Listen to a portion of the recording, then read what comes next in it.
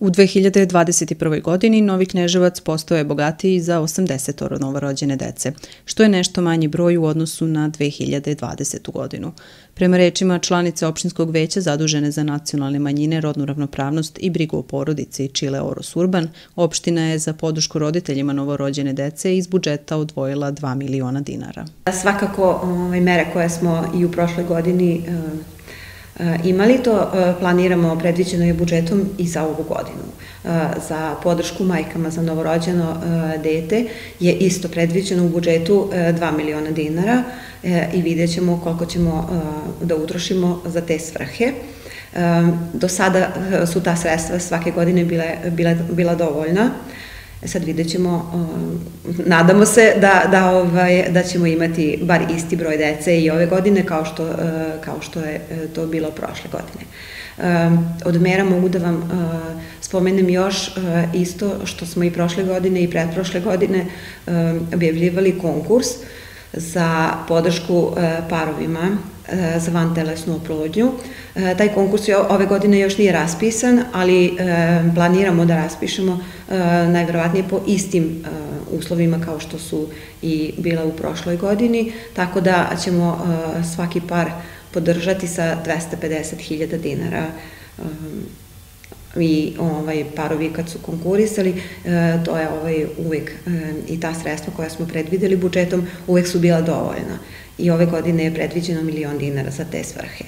Pored navedenih mera populacione politike, sagovornica je istakla da je u toku prošle godine pristupljeno izradi lokalnog akcionog plana unapređenja rodne ravnopravnosti u našoj opštini, te se nada da će i mere obuhvaćene ovim planom uticati na poboljšanje života u porodicama. I ove godine opština će sufinansirati prevoz učenika koji srednju školu pohađaju u susednim mestima.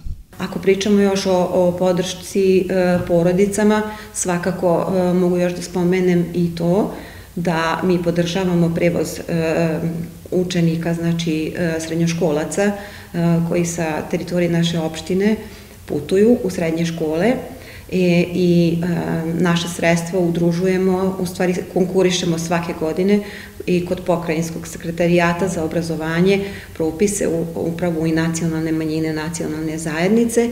E, to je baš sad raspisan taj konkurs e, i konkurisat ćemo e, isto i ove godine kao što smo i prethodnih e, godina konkurisali. Tu mogu da kažem da, da ovaj, e, pokrajinski sekretarijat nas je prošle godine podržao sa oko 700.000 dinara i, i, ovaj, i na taj način uh, smo um, mogli da, da podržavamo one učenike, kažem, koji putuju sa teritorije, pošto smatramo da je, da je ovaj prevoz za porodice opterećenje, pa ovaj, naša lokalna samouprava ovaj, pokušava da, da vodi računa o tome da, da ovaj, mm, zavisno od, po potrebama, od potreba u stvari e, mi e, sufinansiramo te troškove.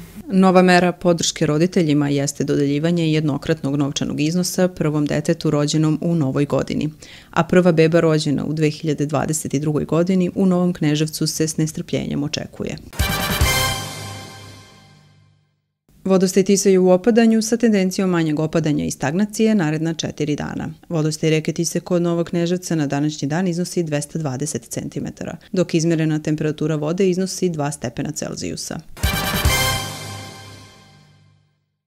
Za subotu meteorolozi najavljuju sneg u prepodnevnim časovima sa povremenim naoblačenjima u toku dana.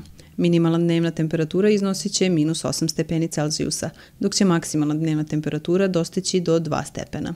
Duvaće vetar jačine do 19 km na čas, a pritisak će biti iznad normale. Vlažnost vazduha iznosit će 77%. Očekivana biometeorološka situacija izazvaće uobičajene tegobe kod većine hroničnih bolesnika. Opre se savjetuje srčanim i cerebrovaskularnim bolesnicima. Od meteoropatskih reakcija mogući su reumatski bolovi i neraspoloženje. I dalje se preporučuje povećena koncentracija svim učesnicima u saobraćaju.